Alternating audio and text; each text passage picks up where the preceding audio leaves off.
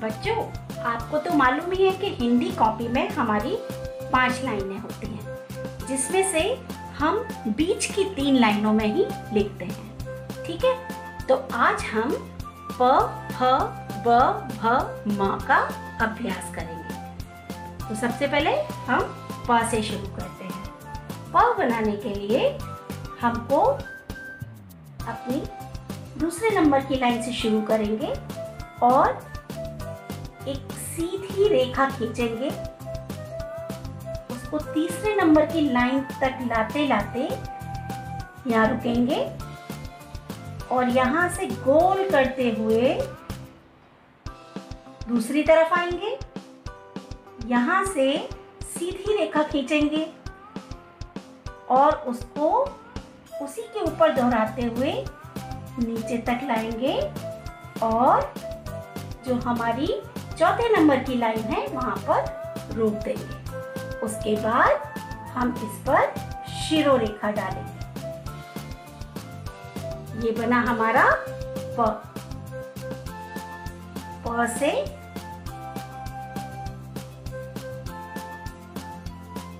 पतंग। प के बाद आता है फ। बच्चों, फ बिल्कुल प की तरह से बनता है। तो पहले हम प बनाएँगे, उसके बाद देखेंगे। नाउ, एक सीधी रेखा, यहाँ रुकते हुए, यहाँ से गोल करते हुए, थर्ड नंबर की लाइन पे टच करेंगे, फिर सीधी रेखा खींचेंगे, यहाँ से, और वो फोर्थ नंबर पर रुक जाएगी। ये प बना। यहाँ से हम अपनी पेंसिल को थर्ड नंबर की लाइन पे लाएँगे और रुकते हुए यहाँ से गोल उठाते हुए एक हुक बनाएँगे और इसको हम यहाँ पर फोर्थ नंबर की लाइन पर रोक देंगे। उसके बाद इस पर हम शिरो रेखा लगाएँगे और हमारा बन गया फ। प फ, ब। ब बनाने के लिए सबसे पहले हम एक खड़ी रेखा खींचेंगे। और खड़ी रेखा को खींचते हुए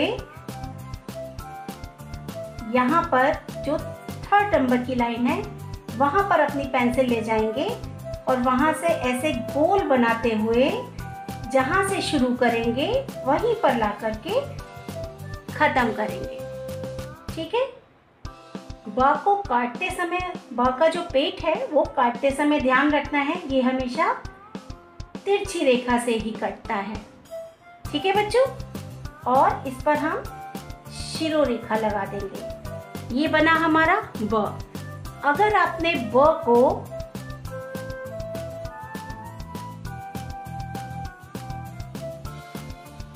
इस प्रकार से काटा तो यह गलत हो जाएगा। ब हमेशा ऐसे कटता है। ये सही है एकदम। ठीक है? प, फ, ब के बाद आता है भ। भ बनाने के लिए हम सेकेंड नंबर की लाइन से स्टार्ट करेंगे। एक गोला बनाते हुए उसी के ऊपर से हम सीधी लाइन लाएँगे और थर्ड नंबर की लाइन से थोड़ा सा नीचे, जैसे आपने ना बनाया होगा ना, बिल्कुल वैसे उसको तिरछा ले जाएँगे और तिरछा ले जा करके लाइन से टच करते हुए सीधी लाइन लाइन के ऊपर ही खींचेंगे। फिर रुकते हुए सीधी रेखा बनाएँगे, ऊपर ले जाएँगे, नीचे ले जाएँगे। और यहाँ पर शिरो रेखा खींच देंगे। बच्चों, भ में आपको इस बात का ध्यान रखना है कि भ पर पूरी लाइन नहीं खींची जाती है। भ पर सिर्फ़ छोटी लाइन ही खींचते हैं, छोटी शिरो रेखा ही खींचते हैं। ठीक है बच्चों? भ के बाद आता है म। म बनाने के लिए आपको बिल्कुल भ की तरह लेना है, लेकिन भा में हमने गोला बनाया था, इसमें हमें सीधी लाइन खींचनी है और इसको नीचे लाना है। थर्ड नंबर की लाइन से थोड़ा सा नीचे। और जैसे न बनाया था, बिल्कुल न की तरह से लाते हुए यहाँ तक लाए हैं। फिर एक सीधी रेखा खींचेंगे। यहाँ से नीचे ले जाते हुए फोर्थ नंबर की लाइन पे टच कर देंगे और इस पर पूरी शिरो रेखा लगाएँगे। ये बना हमारा म। बच्चों, ये है आपकी हिंदी की कॉपी। ये लाइन हमारी हेडिंग लाइन होती है और ये लाइन हमारी मार्जिन लाइन होती है। हम सबसे पहले डेट डालेंगे सी डब्ल्यू डालेंगे और आज हम प, फ ब भ, म का अभ्यास करेंगे। तो सबसे पहले हम हेडिंग लाइन के बाद वाली लाइन में स्टार्ट करेंगे लिखना। हिंदी कॉपी में पाँच लाइनें होती हैं, जिसमें कि ये ब्लू लाइन जो होती है, इस पर ही हमको लिखना है। तो हम स्टार्ट करेंगे प से। प बनाने के लिए हमने सीधी लाइन खींची और थर्ड नंबर की लाइन पर लाने के बाद यहाँ से गोल किया, ऊपर ले गए और नीचे लाए। इसके बाद शिरो रेखा बनाई। ये बना हमारा प। प के बाद आता है फ। फ बनाने के लिए ध्यान रखना है आपको कि यहाँ आपको फिंगर गैप देना है। एकदम सटा के नहीं लिखना है, ठीक है? तो हमने फिंगर गैप दे करके अपनी पेंसिल यहाँ रखेंगे और फ बनाएँगे। फ बनाने के लिए बिल्कुल प की तरह से हम लाइन खींचेंगे। गोल करते हुए इधर लाएँगे, इसके बाद ऊपर की तरफ़ ले जाएँगे और फोर्थ नंबर की लाइन तक नीचे तक लाएँगे। प बनाते हुए इसको थर्ड नंबर की लाइन पे लाके पेंसिल रोकेंगे और ऊपर उठाते हुए गोल करते हुए हुक बनाते हुए लाएँगे। ये बना हमारा फ ये शुरू रेखा डाली और ये बन गया हमारा फ। के बाद आता है ब। ब मैंने आपको बताया है ब का पेट हमेशा तिरछाई काटेगा ठीक है? तो सबसे पहले हम सीधी खड़ी रेखा खींचेंगे और थर्ड नंबर की लाइन पे पेंसिल ले जाते हुए वहाँ से गोल एकदम गोला बनाते हुए जहाँ से शुरू करेंगे, वहीं खत्म करेंगे। और व का पेट तिरछा काट देंगे गलत नहीं काटिएगा हमेशा तिरछा काटिएगा इधर की तरफ़ से। और इस पर शुरू रेखा लगा देंगे। ये बना हमारा व व के बाद आता है भ।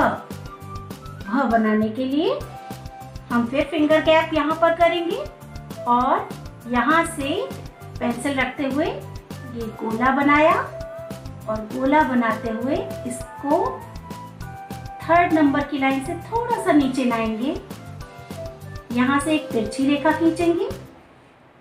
फिर इस लाइन पर सीधी रेखा खींचते हुए ऊपर ले जाएँगे, नीचे लाएँगे और शिरो रेखा लगा देंगे। भ पर आपको ध्यान रखना है कि भ पर हमेशा छोटी ही शिरो रेखा लगती है। पूरे में शिरो रेखा नहीं लगाते हैं। भ के बाद आता है म। म बिल्कुल भ की तरह बनेगा। इसमें हमको सीधी लाइन खींचनी है, जो कि थर्ड नंबर की लाइन से थोड़ा सा नीचे जाएगी। और जैसे हमने भ बनाया है, न सीखा है, उसी तरीके से हम म को भी बनाएँगे। ये सीधे ले जाएँगे और यहाँ से नीचे टच कर देंगे। और शिरो रेखा लगाएँगे ये बना हमारा म। म को हमें एक अकेले ही लिखना है यहाँ पर। तो इसको बीच में लिखेंगे हम। ठीक है बच्चों?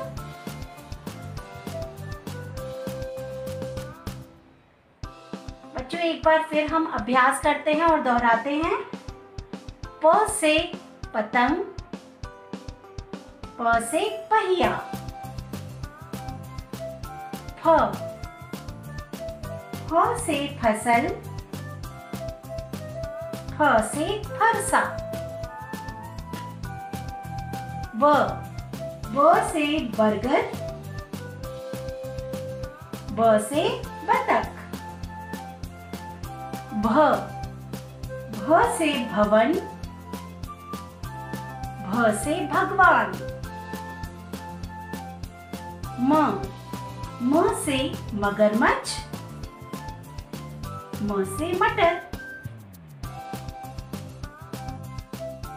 बच्चों ये है आपकी लेखन अभ्यास की किताब यानी राइटिंग बुक इस किताब का नाम है लेखन कला।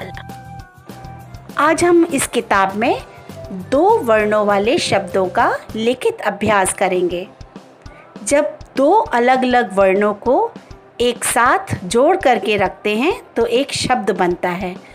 जैसे घ प्लस र बराबर घर। घ में र को जोड़ेंगे तो घर बनेगा। पेज नंबर सात। जैसे हम डेट डालते हैं, डेट डालेंगे। नाउ, दो अक्षरों से बने शब्दों को पढ़िए और लिखिए। पहले हम शब्दों को पढ़ेंगे, उसके बाद लिखेंगे। चलिए शुरू करते हैं। न, ल, नल। न, ल, नल। अब यहाँ पर ये डॉट्स हैं। पहले हम इनको अपनी पेंसिल से कवर करेंगे। न, ल नल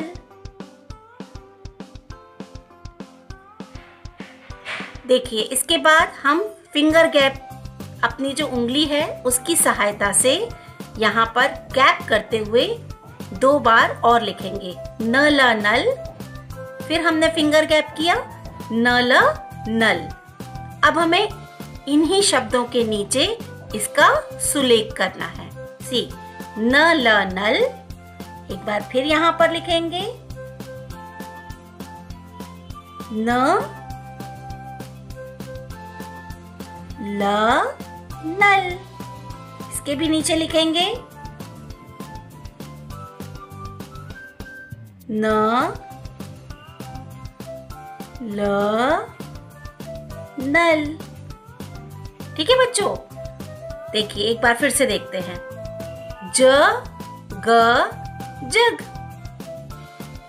इसके बाद यहाँ जो डॉट्स हैं, इनको भी हम कवर करेंगे अपनी पेंसिल की सहायता से, बहुत सुंदर तरीके से। ज, ग, जग। ये दो अलग अलग वर्ण मिलकर के एक शब्द बन गए हैं। ये बन गया ज और ग मिलके जग। अब हम अपनी फिर फिंगर की सहायता से यहाँ फिंगर गैप करेंगे।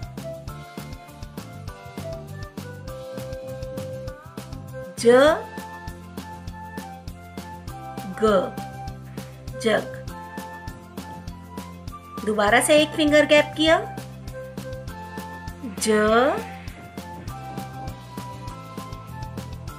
ग, ज। अब इसके नीचे ही हमको इसका सुलेख करना है। लेकिन बच्चों, एक बात आपको ध्यान रखनी है।